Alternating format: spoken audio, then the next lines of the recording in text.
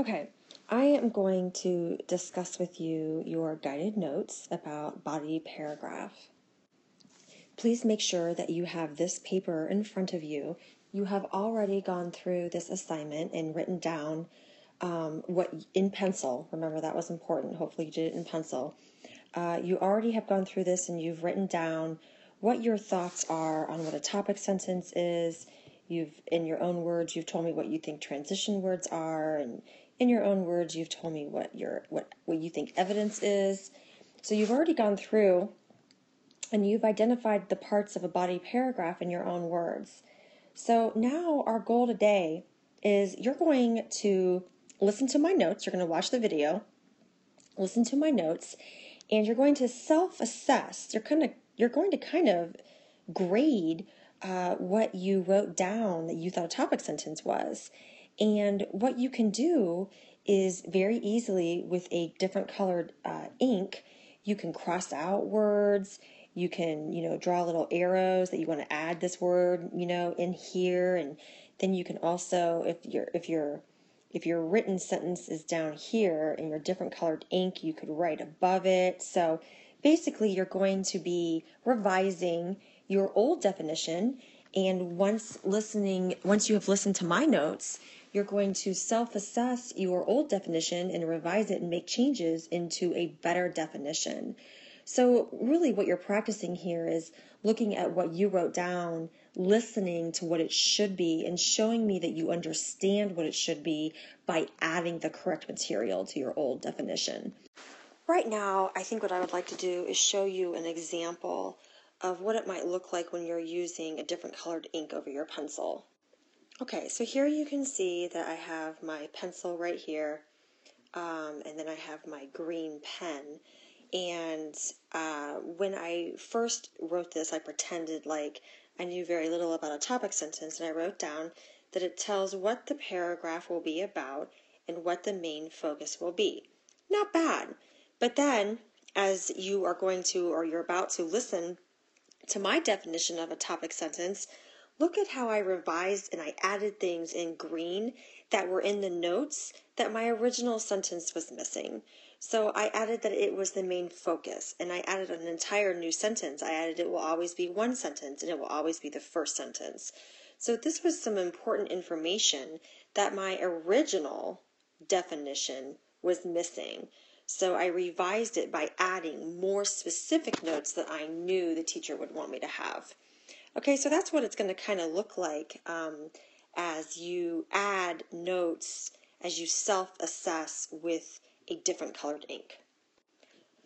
Okay, so keeping your self assessment, your definitions out, let's take a look at your guided notes. I believe I Xeroxed them on a different colored paper, so it would be easy for you to distinguish the difference.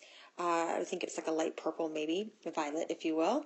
So looking at that, you can see we're going to quickly kind of just discuss the main parts. And uh, these are your formal notes on how to write a body paragraph.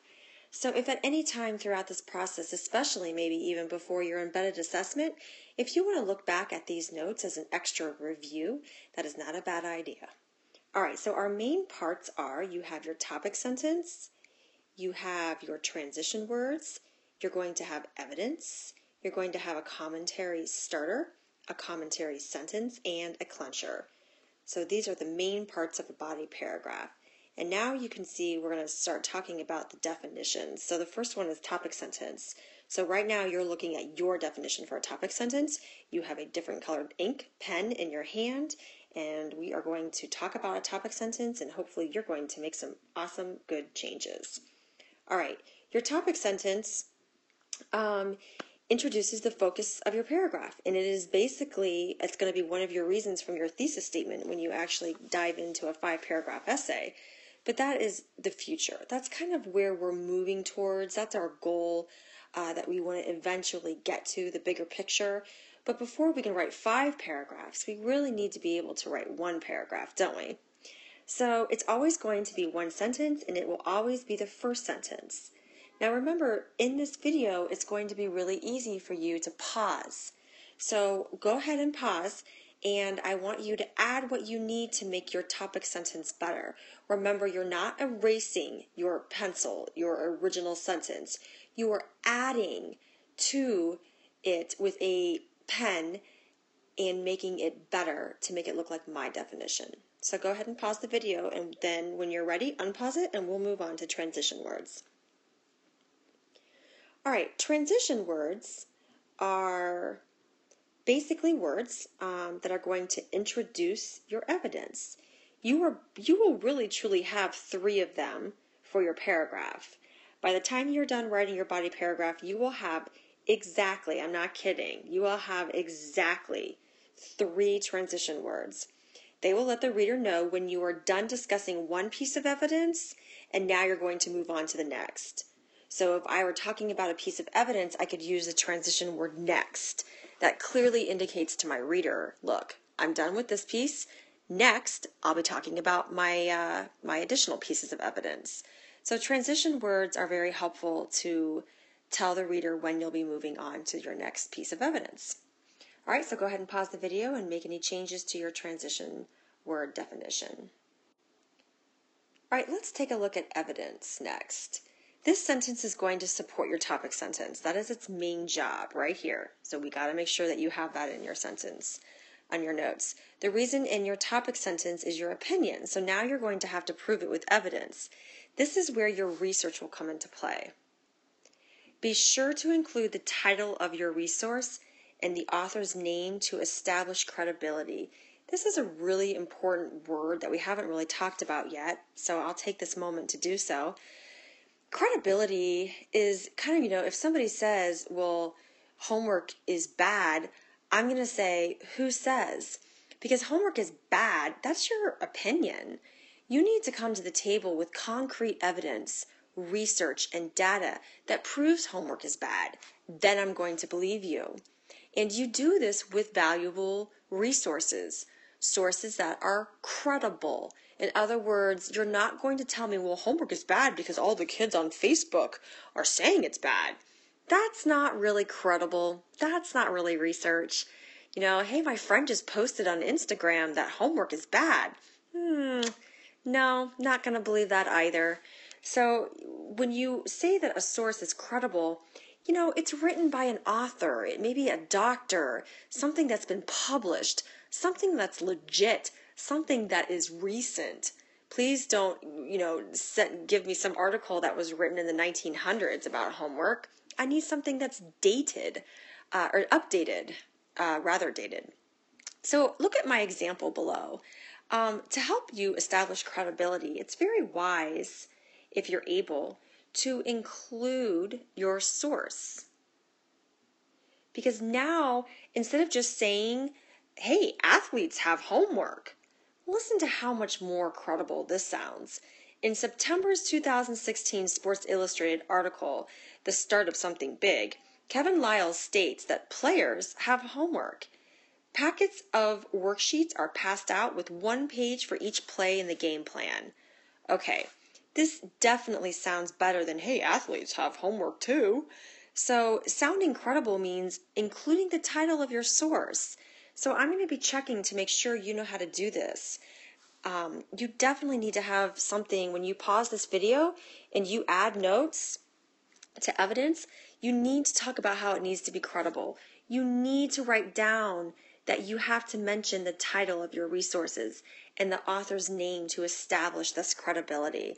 Look, guys, if I were you, I would write this example down. I would copy this example down word for word so that you can see exactly um, how to include the evidence. Uh, I'm sorry, rather, how to include your resource in the evidence.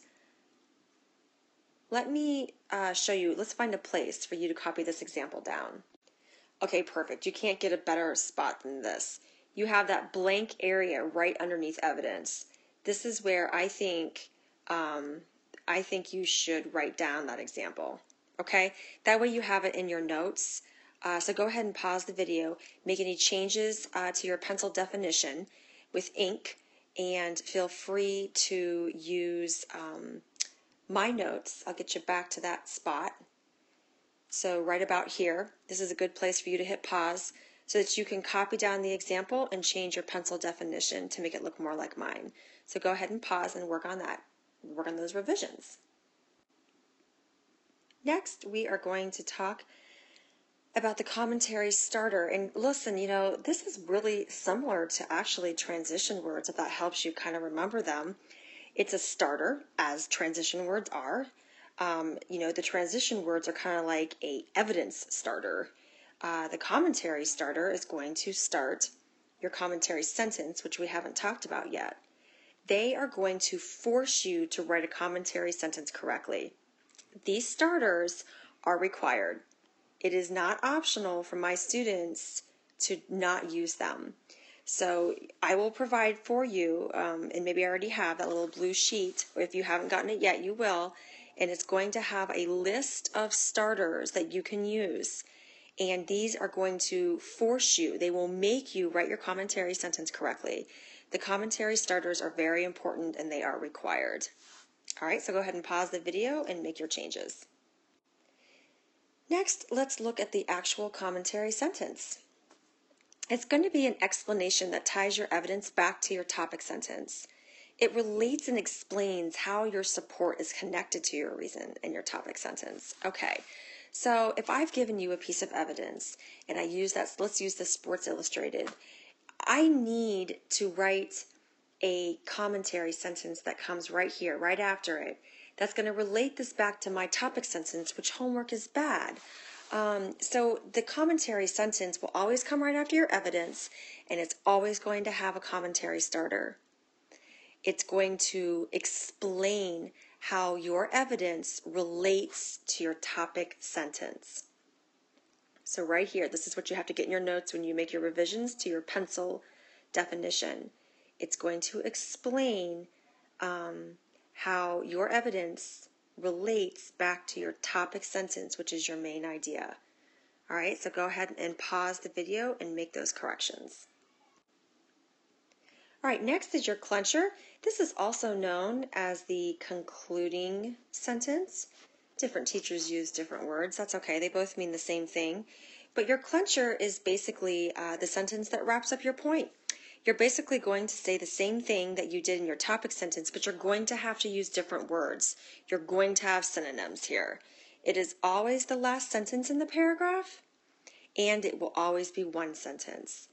All right, so you might want to go ahead and pause your notes and make the changes, the revisions to your pencil definition.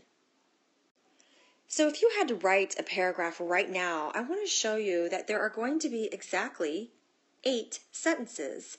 And I love this little format outline for you because if you had to write one right now, I would want to have this right in front of me so that when I go to write my first sentence, I know it's my topic sentence. Then I'm like, ooh, what comes next? Oh, yeah, that's right. I need to have my transition word and then I'm going to have my evidence. The third sentence is going to be your commentary starter. And then you're going to have your commentary sentence. Your fourth sentence, and then you're going to do this three times. So here's what I want you to see it's going to repeat. Look, I'm going to use the same colors so that you can see the repetition. Transition word, and then I have my evidence.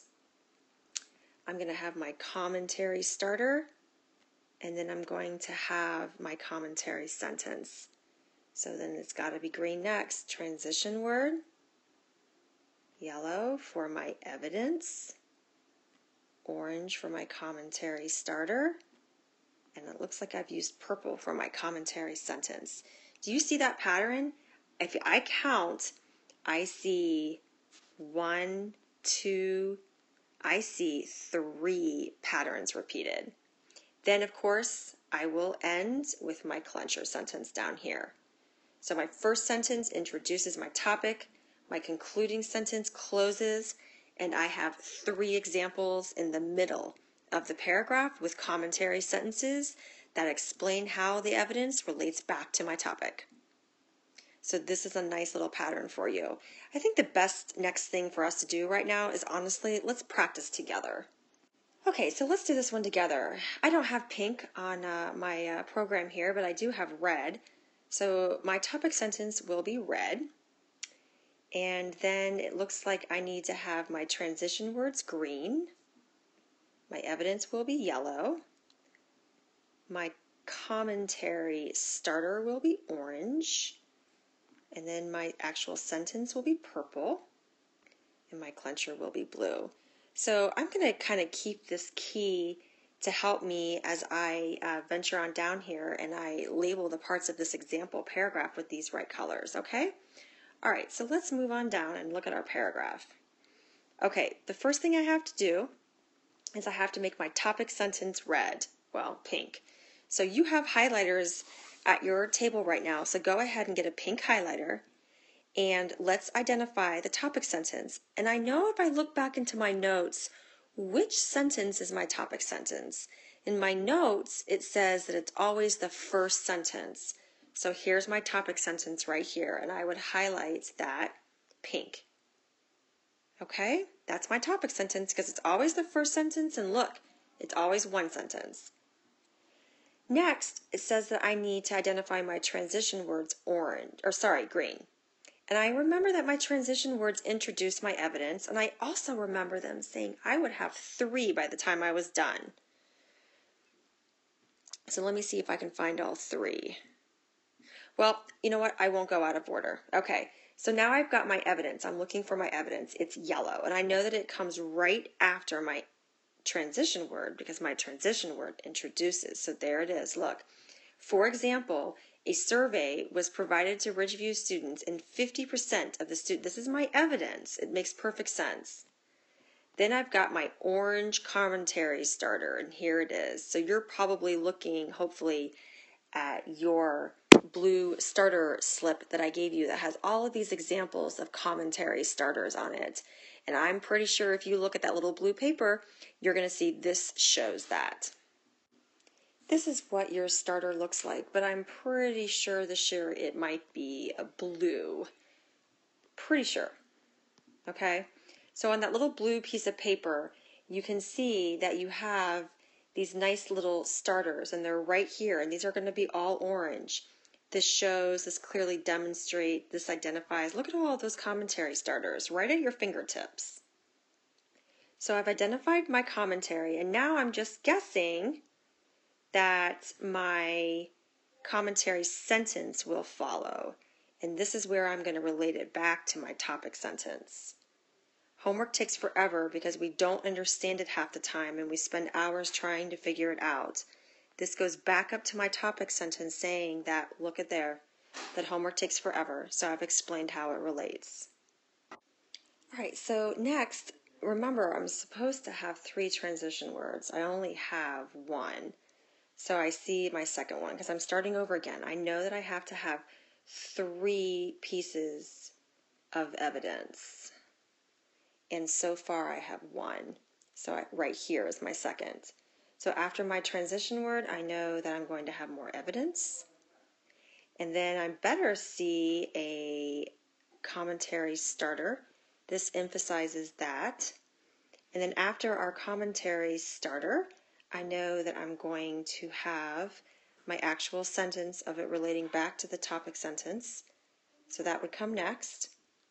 So there's my second example. Do you see how the colors are starting to repeat? It's the pattern.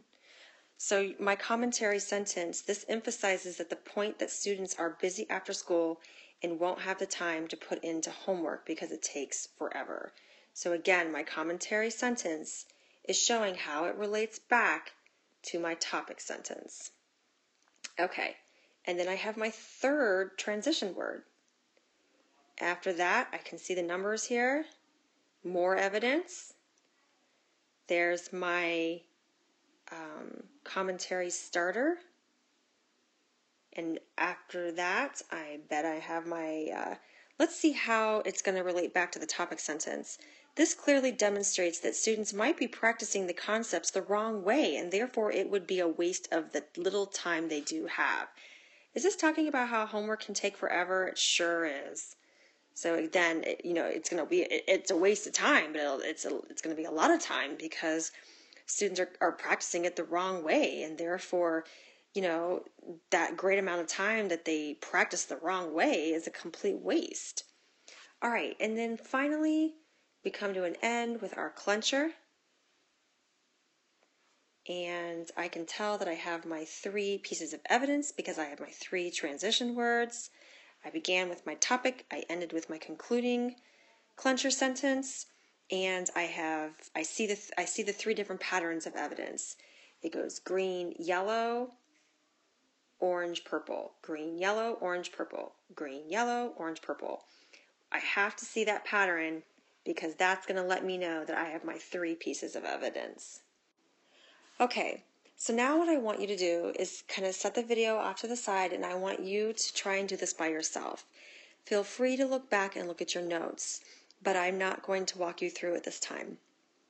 I want for you to identify each of these parts and be able to explain why if I call on you.